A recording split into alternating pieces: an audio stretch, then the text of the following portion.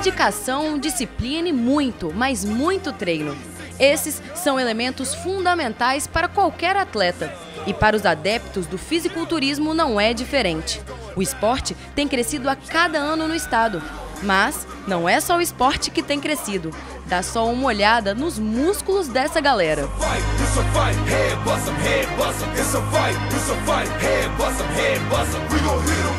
Paula, Ana Carolina e Rodolfo fazem parte do time de força que vai representar os capixabas em julho no Campeonato Brasileiro de Fisiculturismo.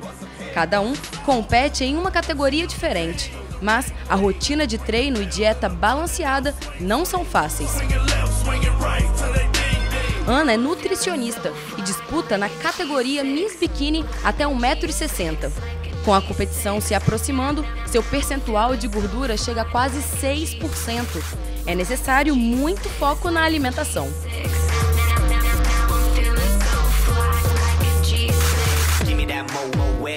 A dieta é bem restrita, zero de gordura, zero de sal, baseado principalmente em frango, carnes brancas. Não posso deixar de lado a carne vermelha, eu acabo comendo duas vezes por semana uma carne vermelha magra carboidratos, batata doce, carboidratos integrais, pão, é, o pão principalmente, arroz, a tapioca está sendo inserida, castanhas como fonte de gordura, mas é bem restrito mesmo.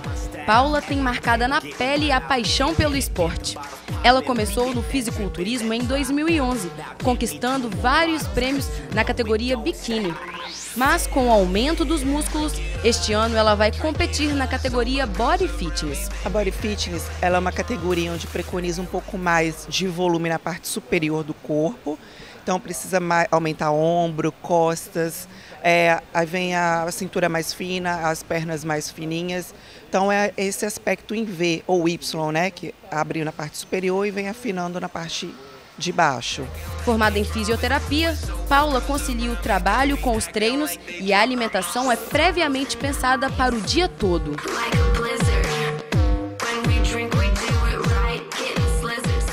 Dificuldade é grande, né? Porque a nossa rotina ela é puxada. Eu trabalho de manhã, de tarde, de noite. Então o horário que eu tenho mais é, de intervalo assim do trabalho, eu vou para academia, faço meu treino e dieta, eu faço toda a minha dieta em casa, a, a gente fala de marmita, né? A gente faz a nossa alimentação toda e leva no, no, pro dia para poder fazer corretamente, não ficar é, é, dependendo de restaurante, nem de nada, então a gente já faz tudo certinho e leva para o trabalho. Com 1,93m de altura, Rodolfo Heideres é um dos grandalhões que representam a ala masculina.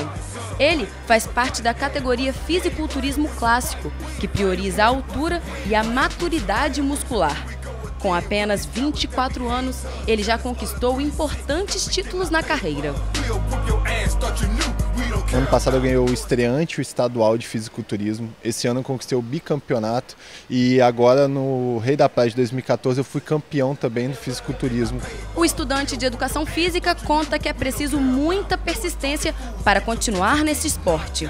Se a gente for botar na ponta do lápis, a gente nem pensa em ser atleta, porque a gente tem custo, a gente tem vida social, tem família, tem tudo que a gente tem que se abdicar muito tempo disso. Às vezes o que a gente ganha não dá para metade do que a gente precisa para subir na melhor condição, entendeu? Hoje em dia o que mais falta é apoio das empresas privadas e até mesmo apoio da, do governo federal, o governo do Espírito Santo, que infelizmente é, teve Bolsa Atleta esse ano e não teve um bodybuilder que ganhou o Bolsa Atleta entende? Então, assim, a gente precisa de um pouco mais, não de respeito, mas de compreensão, porque os resultados estão vindo. Nessa época, antes da competição, a dieta fica mais regrada. Mas e depois dos campeonatos? Será que os corpos sarados ganham um descanso, pelo menos na alimentação? É um mito muito grande pensar que a gente não come nada, isso é mentira, entendeu? Ah, nos dois últimos meses, realmente a gente restringe muito a baixa ingestão calórica para conseguir o melhor percentual de gordura e o máximo de definição muscular. Mas após o campeonato, vai ser mais do que natural você ver eu como atleta comendo uma pizza no final de semana, tomando açaí. A gente tem uma alimentação muito boa, a gente come muito bem do muito bom desde carboidratos, proteínas, tudo. Mas a gente também é filho de Deus, a gente também é gente, a gente come nossa pizza. Quando tem vontade, a gente vai num, um churrasco, entendeu? Tudo pré-determinado. O fisiculturismo é um esporte que é muito aceito internacionalmente. Apesar de não ser um esporte olímpico, ele é aceito em jogos asiáticos, jogos pan-americanos e tem crescido cada vez mais. E para falar melhor sobre isso, o Fábio Norte, ele é vice-presidente da Federação de Fisiculturismo do Estado. Fábio, como que está essa aceitação do fisiculturismo tanto nacional quanto internacional? Então, o nosso esporte ele tem evoluído né, cada vez mais e nos últimos anos ele tem mostrado uma força muito grande e sendo, é, tendo uma grande aceitação né, entre os praticantes de, de musculação, das academias. Né, e graças a Deus tem evoluído muito, tem, tem tido muito reconhecimento, a gente pode ver pelos eventos, né, o, o grande número de público que está indo prestigiar né, os campeonatos. Fábio revela ainda que é crescente o número de mulheres adeptas ao esporte. As mulheres realmente quebraram esse tabu né, de que não podem malhar com pesos, porque senão vão ficar muito fortes, muito masculinizadas. E elas estão sim mostrando corpos delineados, né, corpos bem definidos, é, é, com um grau de muscularidade bem agradável, né? É, e isso permite com que elas ingressem então no fisiculturismo, que na verdade é o culto ao corpo, né? não significa que elas devam ser extremamente musculosas. Para isso que existem as categorias delimitando né, as características de, de, cada mulher, no caso de cada atleta. O Campeonato Brasileiro acontecerá em São Paulo em duas etapas. A primeira vai ser nos dias 18 a 20 de julho e a segunda etapa é entre os dias 1 e 2 de agosto. Ao todo são 35 categorias e o Espírito Santo será representado por mais ou menos 40 atletas. Agora é torcer para que um deles traga esse título aqui para o Espírito Santo. O treinamento e a dieta, a dedicação, toda é baseado principalmente na confiança. A gente faz esperando trazer a medalha, sim, sim. Estou confiante, estou me preparando muito.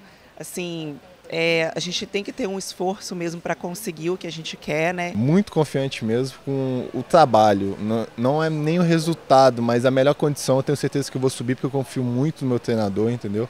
E, e tem muita gente que acredita em mim. E a minha vitória não é eu ganhar um, um título, e sim é deixar orgulhoso quem acredita em mim, entendeu?